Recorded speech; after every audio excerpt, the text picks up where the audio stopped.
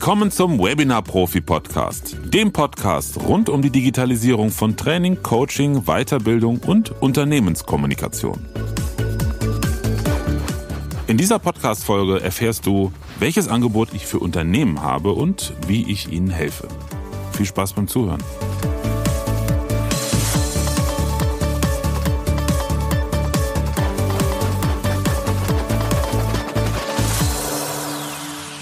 Wir haben jetzt Mitte Oktober 2022. Das Jahr neigt sich langsam dem Ende zu. Also es wird wieder dunkler, es wird wieder kälter äh, und mit den entsprechenden Nebenwirkungen, in Anführungsstrichen, haben wir da zu tun, was jetzt Präsenzveranstaltungen betrifft. Lange Rede, kurzer Sinn. Immer mehr Veranstaltungen finden jetzt wieder online statt und daraus ergeben sich gewisse neue Erkenntnisse, wie ich jetzt in letzter Zeit immer wieder höre, und vor allen Dingen bei uns eine ganze Menge neuer Anfragen zu dem Thema Digitalisierung von Training, Coaching und Unternehmenskommunikation. Und ich erlebe immer wieder in Beratungsgesprächen, ähm, dass mir jemand seine, seine aktuelle Herausforderung schildert, insbesondere bei Unternehmen, die dann äh, recht vielschichtig sind. Also da geht es nicht nur darum, wie können wir ein Webinar besser machen, sondern da ist es halt weiter gefächert, wirklich die Unternehmenskommunikation zu digitalisieren. Und dann kommt am Ende immer die Frage, ja, bieten Sie sowas eigentlich dann auch an? Im konkreten Fall ging es darum, dass es ein vorhandenes Studio gibt, was selber zusammengestellt wurde, was aber nicht so richtig funktioniert und so ein bisschen so ein, wie ein Flickenteppich ist. Und da war dann der Wunsch des Kunden, dass man das alles mal so richtig professionell rund macht, in Anführungsstrichen, dass wir da mit unserer Expertise reinkommen. Also sowohl meine Frau Joanna, was das Thema Video und Beleuchtung betrifft, da mal richtig das ganze vorhandene Equipment richtig einstellt, als auch ich, was jetzt äh, den Ton, die gesamte technische Konzeption und natürlich auch die Thematik Raumakustik betrifft. Und ähm, ja, dann kam die Frage, ja, wir ist ja jetzt kein neues Studio bauen, bieten Sie denn sowas überhaupt auch an? Ja, genau, sowas bieten wir auch an. Und daher habe ich mir gedacht, in dieser Folge erkläre ich einfach mal kurz, was mein Angebot oder natürlich betrifft das nicht nur mich, sondern auch mein Team, weil ich nicht die Projekte alle komplett alleine machen kann, was, was unser Angebot für Unternehmen ist, denn es unterscheidet sich ein bisschen von dem Angebot für selbstständige Dienstleister. Kleiner Hinweis, in der nächsten Folge hiernach erkläre ich dir, was mein Angebot wiederum für Dienstleister, also beispielsweise Trainer, Coaches, Berater und natürlich auch Vertriebler ist. Als Selbstständiger oder natürlich auch als Unternehmer und, und äh, Unternehmen verändert man ja im Laufe der Zeit immer so ein bisschen sein Portfolio, sein Angebot, mal mehr oder mal weniger. Ich habe das in den 20 Jahren, in denen ich jetzt mittlerweile schon selbstständig oder auch unternehmerisch tätig bin, schon mehrfach gemacht.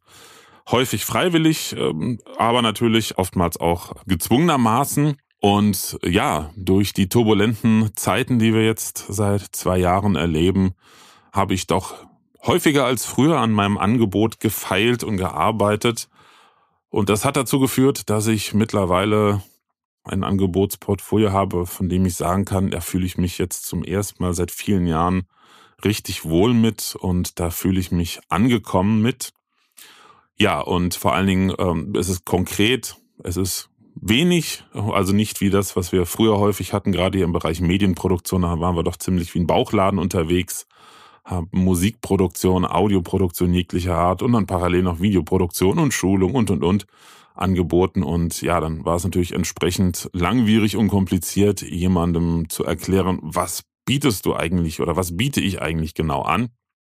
Ja, und das ist mittlerweile deutlich konkreter und darüber möchte ich heute einmal sprechen.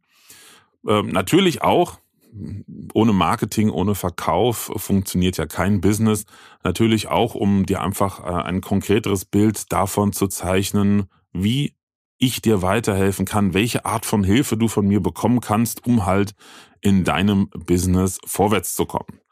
Grundsätzlich, das hat sich auch herauskristallisiert jetzt in den letzten anderthalb Jahren, habe ich oder haben wir mit unserer Firma zwei Zielgruppen mit einem ähnlichen Angebot, weil in beiden Zielgruppen der Bedarf vorhanden ist, aber doch mit ähm, etwas Differenzierung, weswegen wir gesagt haben, okay, wir teilen es auf zwei Zielgruppen auf das eine, die erste Zielgruppe, das sind Unternehmen jeglicher Art, also hauptständig, hau hauptsächlich mittelständische Unternehmen, teilweise aber auch kleine mittelständische Unternehmen, bis hin zu Konzernen gehören da zu unseren Kunden.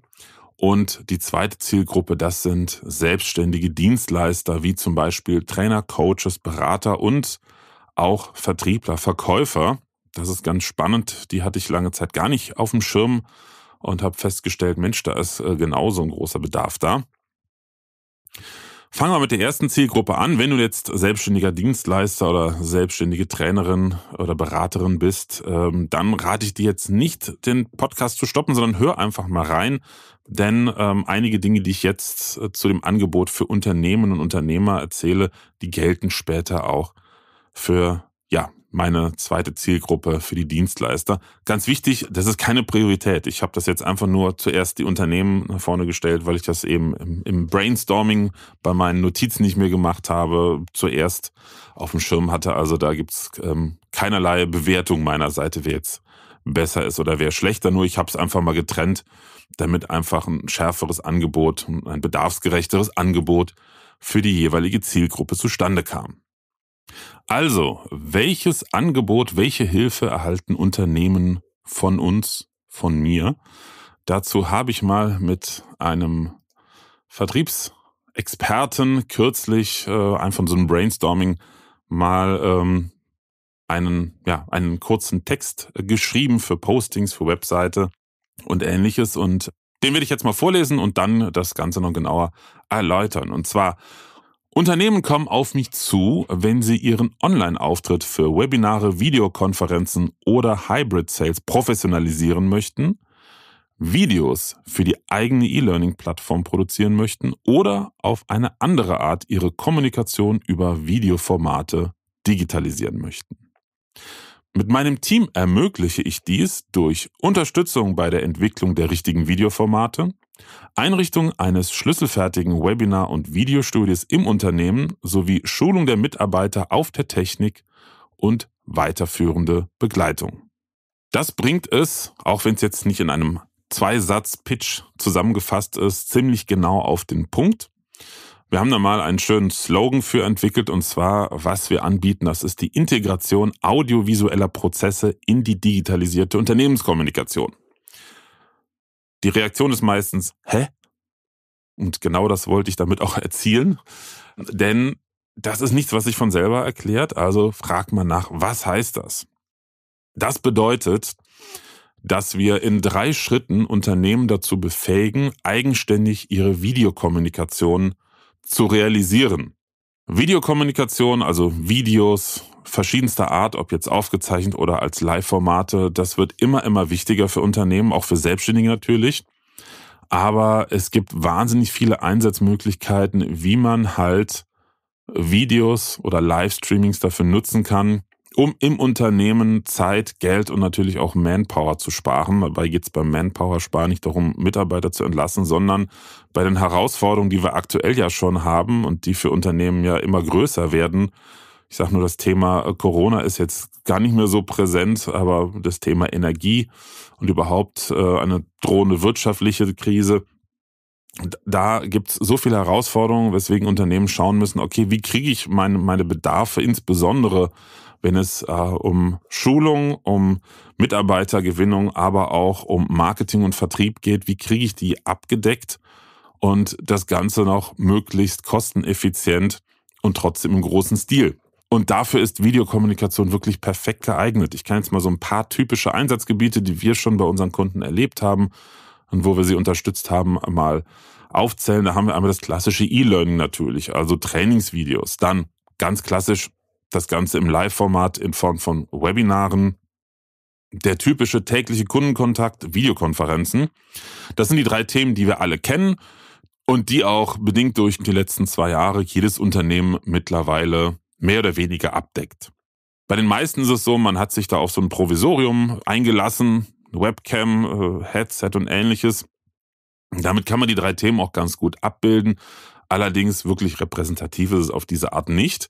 Und wenn man dann noch ein bisschen weiter den, den Faden spinnt, dann reicht so ein Setup natürlich auch nicht. Also da wären zum Beispiel Themen wie Online-Kongresse. Durch Teilnahme von unternehmensinternen Experten bei Online-Kongressen kann man natürlich das Unternehmen noch in der Reichweite viel mehr nach vorne bringen. Dann Produktpräsentationen online. ich habe ein Produkt, was sich in irgendeiner Art und Weise, wenn es jetzt nicht riesengroß ist, über Videos präsentieren lässt, live mit zwei, drei Videokameras. Und ich habe Kunden irgendwo im Ausland, bevor ich jetzt rausfahre oder denen irgendwelche irgendwelche generischen Videos schicke oder irgendwelche äh, PDFs rausschicke, kann ich das im Rahmen einer Live-Videokonferenz machen und dann live über zwei, drei Kameras das Produkt vorführen beispielsweise. Das ist viel direkter, das ist viel besser im Verkaufsgespräch später auch als, wie gesagt, generische Inhalte. Genauso auch eine Pitch-Präsentation. Da haben einige von unseren Kunden schon sehr gute Erfahrungen gemacht, weil man das natürlich multimedialer gestalten kann. Und es ist auch einfach ein Termin mit allen Entscheidern zu finden, weil da können sich auch gerade mal Entscheider, die jetzt nicht alle an einem Ort sitzen, für eine halbe Stunde online zuschalten und entsprechend dann auch die Präsentation sehen. Ganz interessant beim Thema Mitarbeitern ist das Recruiting und das Onboarding.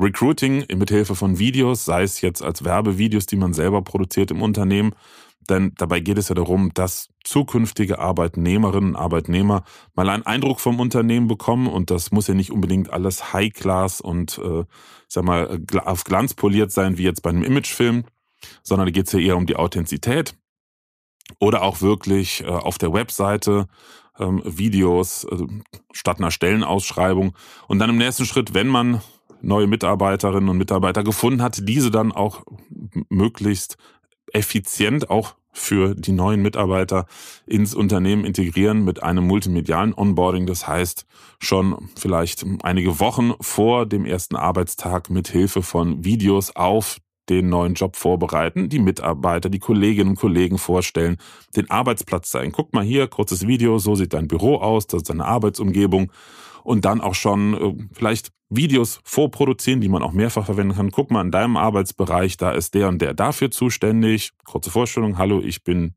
keine Ahnung, der Karl-Heinz, ich bin hier der Abteilungsleiter, dein Einsprech Ansprechpartner für Thema XY und so weiter und so fort. Und so kann man halt im Onboarding mit Hilfe von Videos halt auch eine ganze Menge an Manpower sparen, wo dann ansonsten Mitarbeiter eingebunden würden und auch blockiert wären, um einfach die rudimentärsten Dinge, die Strukturen im Unternehmen zu zeigen. Fachvorträge auch wieder ganz spannend für Experten aus einem Unternehmen, natürlich auch im Rahmen von Online-Kongressen. Und dann die ganzen Thematiken mit Livestreaming, sei es jetzt ein YouTube-Livestream, also eine wöchentliche, ja quasi Internet-Fernsehsendung vom Unternehmen, die man dann parallel auf YouTube, auf LinkedIn, auf Facebook, auf die jeweiligen Profile streamen kann, um so den direkten Kundenkontakt äh, zu haben und auch Rückmeldung zu kriegen von Kunden. Das kann ja auch interessant sein. Man ist in einer Produktentwicklung und will mal gucken, wie ist der Bedarf bei der Zielgruppe. Dann kann man da Zwischenstände präsentieren und sich direkt Feedback holen. Das muss nicht nur öffentlich sein. Das kann natürlich auch sagen, wenn jetzt in einem Unternehmen, sag ich mal, 5000, 6000 Kundenadressen, Kunden vorhanden sind, dass man denen sagt, passt mal auf, wir machen jetzt alle zwei Wochen, machen wir einen Livestream, da seid nur ihr als unsere Kunden eingeladen in einem geschützten Bereich und da stellen wir euch äh, die Produktentwicklungsschritte unseres neuen Produktes vor. Da habt ihr die Möglichkeit, sofort ein Feedback zu geben, was ihr davon haltet, damit wir das auch in die Produktentwicklung mit einfließen lassen können. Daher sind solche Livestream-Formate regelmäßig auf jeden Fall auch sehr spannend, genauso wie virtuelle Messen, Videocast und Podcast. Das sind also regelmäßige, ja, Videocast im Prinzip gleich wie ein Podcast, also regelmäßig Videos veröffentlichen auf YouTube und ähnlichem. Podcast natürlich auch. Man kann hervorragend ein YouTube-Video aufnehmen und dann nur die Tonspur separat als Podcast veröffentlichen, also eine sogenannte Zweitverwertung durchführen. Ganz spannend, auch da wieder um halt äh, Manpower zu sparen. Ich höre es immer wieder, dass in manchen Unternehmen die Support-Mitarbeiterinnen und Mitarbeiter ziemlich auf Volllast laufen. Da kann man natürlich auch einiges einsparen und die Mitarbeiter da entlasten, indem man halt für Standardfragen, da sollte es ja eine entsprechende Auflistung von den typischen Fragen, die kommen, auch geben. Mal schauen, okay, das sind jetzt 30 Fragen, die kommen immer wieder beim Produkt XY. Da machen wir jetzt einfach mal standardisierte Support-Videos zu. Das ganze Thema Weiterbildung, also Personalentwicklung, Training und so weiter und so fort, das kann man natürlich auch hervorragend entweder komplett über Videos oder mit Videounterstützung abfrühstücken. Ja, und dann haben wir noch Interviews. Das ist interessant für die interne Kommunikation, zum Beispiel mit der Geschäftsführung, dass die Mitarbeiter mitkriegen, okay, was läuft da oben eigentlich? Auch das kann man über einen Livestream machen, der nur intern geschaut werden kann. Wo dann Interviews mit Abteilungsleitern, ähm, mit Geschäftsführung und so weiter zu sehen sind, dass man mitkriegt, okay, wo steht das Unternehmen gerade, in welche Richtung geht es.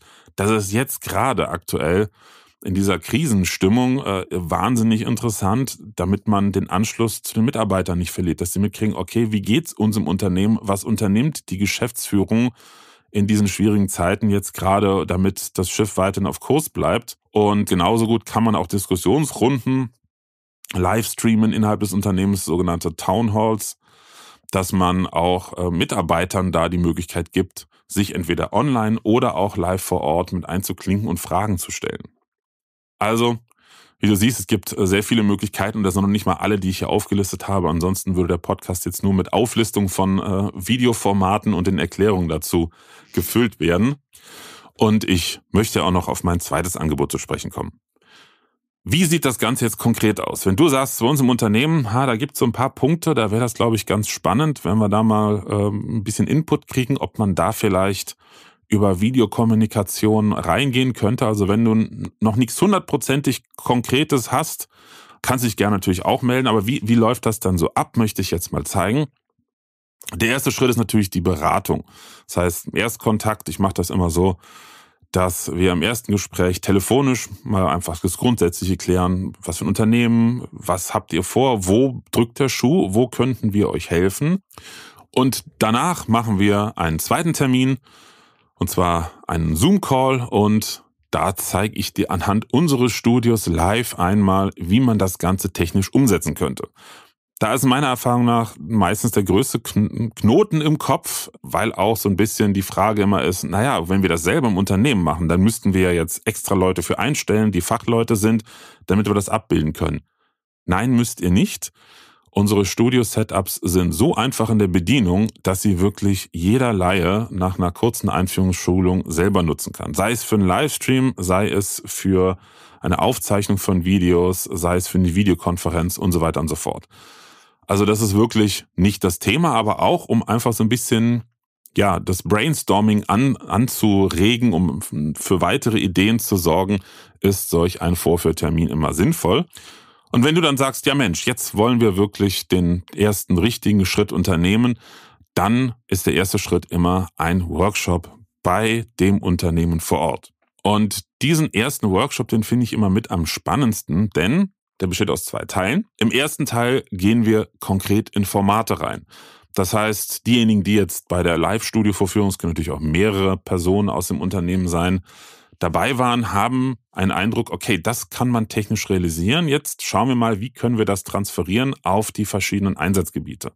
Und dafür ist dieser Workshop gut, um zu schauen, okay, in welchen Abteilungen, in welchen Bereichen würdet ihr gerne das Thema einsetzen oder drückt der Schuh? Dann entwickeln wir gemeinsam im ersten Teil des Workshops Formate dafür. Format heißt ganz grobe Prozesse. Also ich sag mal, für den Vertrieb, außer jetzt Videokonferenzen, Videocalls mit Kunden, was kann man im Vertrieb noch machen an regelmäßigen Videoinhalten, um an Neukunden zu kommen oder Bestandskunden zu informieren. Das kann eine, eine, eine wöchentliche, sag ich mal, Verkaufssendung sein, in der neue Produkte vorgestellt werden können, mit der direkten Möglichkeit, sie sofort zu bestellen. Ich sage nur sowas wie typische Verkaufssender wie QVC und so seit Jahren schon machen. Das kann man heute auch selber im Unternehmen realisieren, sehr einfach. Das können aber auch andere Dinge sein, wie zum Beispiel Recruiting, Onboarding und so weiter und so fort. Wir hatten kürzlich bei einem Unternehmen einen Workshop, da hatten wir fünf, sechs Oberthemen und sind dann bei dem ersten Thema, beim Thema Mitarbeiterkommunikation, ins Detail mehr gegangen und schwupp war der Workshop fast schon rum, weil wir so viele Möglichkeiten gefunden haben, wo das konkret das Thema Videokommunikation eingesetzt werden kann. Und im zweiten Teil des Workshops, das ist jetzt nicht so lang, es dauert meistens nur anderthalb, maximal zwei Stunden, da geht's dann hands-on, denn wir bringen zu dem Workshop ein kleines Webinar, ein kleines Videostudio mit, zwei Kameras, ein 8 Mini Pro, so ein kleines Videopult und Vorschau-Monitor und alles und so kann dann jeder, der mit dem Thema zukünftig zu tun haben sollte im Unternehmen, natürlich auch ganz wichtig, Entscheider, Geschäftsführung oder Abteilungsleitung, die das Projekt begleiten und äh, bewilligen, dass alle mal die Möglichkeit haben, selber zu erleben, wie einfach das ist, Videos zu produzieren oder Videokonferenzen mit dieser Technik zu halten. Das ist immer eine große, ein großer Spaß, eine große Freude für alle Teilnehmenden. Und das nimmt dann natürlich auch schon mal eine ganze Menge der Angst, die ja doch viele vor der Technik und der Bedienung haben. Das ist der erste Schritt, der Workshop. Und danach geht es in die Planung. Das heißt, nach dem Workshop ist auch ganz klar, wie ist der Bedarf, was braucht es im Unternehmen, ähm, wie wird das Studio, dem Studio dementsprechend aussehen. Ist es ein Ein-Mann-Setting mit zwei Kameras, wo jemand am Tisch stehend alles selber bedient und zwei Kameras hat. Das ist hauptsächlich, wenn es um Schulungsinhalte geht, um Verkaufsgespräche oder auch um, um einfache Präsentationsvideos, ist das das typische Setup. Aber wenn es auch darum geht, zu interagieren, Interviews zu, äh, zu halten oder auch Produkte vorzuführen, dann braucht man wahrscheinlich noch ein zweites Set daneben, beispielsweise mit einer Sitzsituation, Sessel oder Sofa oder einfach nur eine Fläche, wo ein Produkt präsentiert wird. Und das alles, das entwickeln wir ja im, im Workshop und das fließt dann in die Planung ein aus der sich dann unser Grobkonzept und das Angebot ergibt und danach die Einrichtung des Studios vor Ort im Unternehmen. Und das ist bei uns ein, ein wirklich schlüsselfertiges Konzept, eine Gesamtlösung. Sprich, das Unternehmen muss sich nicht darum kümmern, irgendwelche Produkte einzukaufen, irgendwelche äh, Sachen bereitzustellen. Wir machen wirklich eine komplette All-in-One-Lösung, wenn wir eh schon vor Ort sind dann messen wir auch direkt den in Frage kommenden Raum aus, damit wir da auch schon alle Parameter haben, planen das gesamte Studio, wir kaufen die komplette Technik, die gebraucht wird, ein. Wir bauen das gesamte Setup einmal bei uns hier vor Ort auf, testen alles durch, damit wir auch sicherstellen können, dass nachher bei der Installation vor Ort nicht irgendwas kaputt ist. Gut, es kann immer mal was passieren, aber wenn man es vorher einmal durchgetestet hat, dann funktioniert's. Ja, und sobald das Studio eingerichtet ist, das machen wir mit unserem Team zusammen. Je nach Umfang dauert das zwischen zwei und drei Tagen. Dann bieten wir oder führen wir direkt im Anschluss danach, am letzten Installationstag oder am Tag danach, einen kleinen Einführungsworkshop für alle Beteiligten im Unternehmen an. Also den bieten wir nicht nur an, den machen wir immer, weil ansonsten ergibt es ja keinen Sinn. Das heißt, wir garantieren, dass 24 Stunden nach der Installation das Studio betriebsbereit ist und die Mitarbeiter, die das primär nutzen sollen, damit auch arbeiten können. Und ich kann guten Gewissens sagen, dass das bis jetzt jedes Mal funktioniert hat. Also das äh, Spannendste, was wir bisher hatten, war wirklich, dass einen Tag nach dem Einführungsworkshop in einem Unternehmen schon die ersten Webinare mit dem neuen Studio durchgeführt wurden und das mit Erfolg und vor allen Dingen ganz viel O's und A's auf Seite der Teilnehmer, die davon gar nichts wussten und völlig überrascht waren. Ja, und damit das Studio auch gut genutzt wird und gut ausgelastet wird, weil das ist ein Thema, was auch immer wieder kommt. Na, jetzt haben wir hier ein Studio für mehrere Zehntausend Euro teilweise. Die Investition lohnt sich ja nur dann, wenn wir es auch richtig nutzen. Hier und da mal ein Webinar macht natürlich keinen Sinn. Deshalb ja auch im Workshop die Ausarbeitung der Formate. Und wie man die Formate, die verschiedenen Einsatzgebiete nachher realisiert, das kann man natürlich nicht in einem kleinen Einführungsworkshop direkt alles schulen. Deshalb erfolgt dann im Nachgang in Abständen, die wir gemeinsam dann vereinbaren, nochmal zusätzliche Schulung, dass wir nochmal ins Unternehmen kommen und dann gemeinsam, wenn zum Beispiel am Anfang das erste Thema ist, wie führen wir Webinare durch, das kann man mit der kleinen Einführungsschulung sofort abfrühstücken. Aber wenn dann weitere Themen kommen, ja, wir wollen jetzt mal Gesprächsrunden machen, wir möchten so eine Live-Sendung zum Verkaufen machen, wir möchten Onboarding-Videos drehen und, und, und. Also da stehen wir dann beratend und vor allen Dingen auch begleitend zur Verfügung.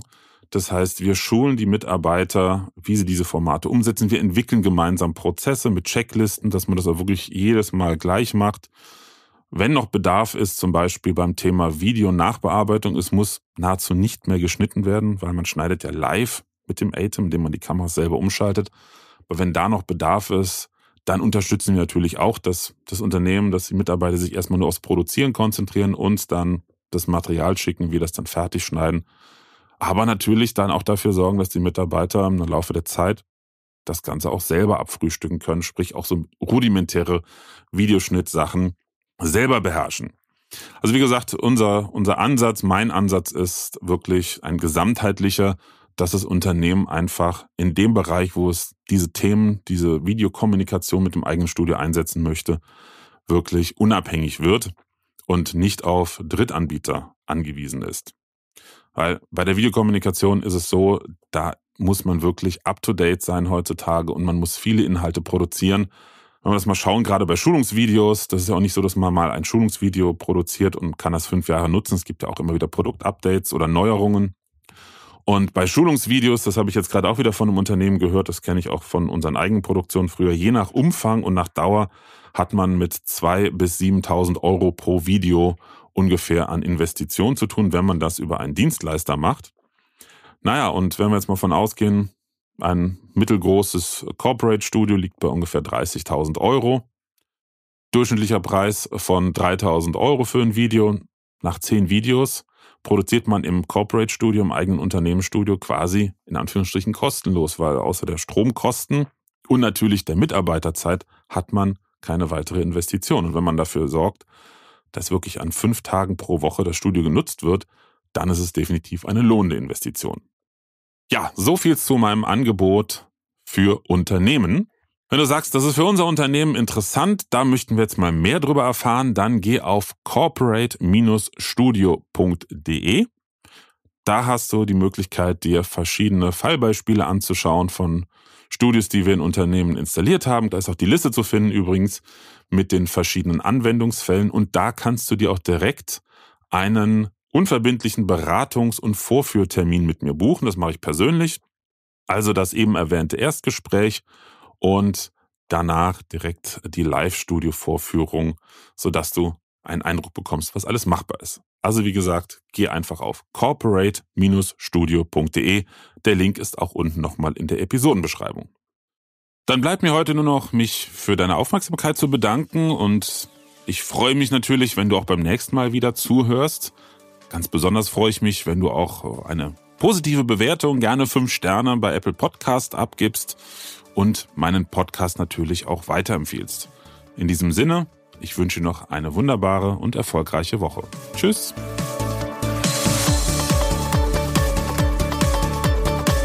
Präsenz war gestern. Online ist heute.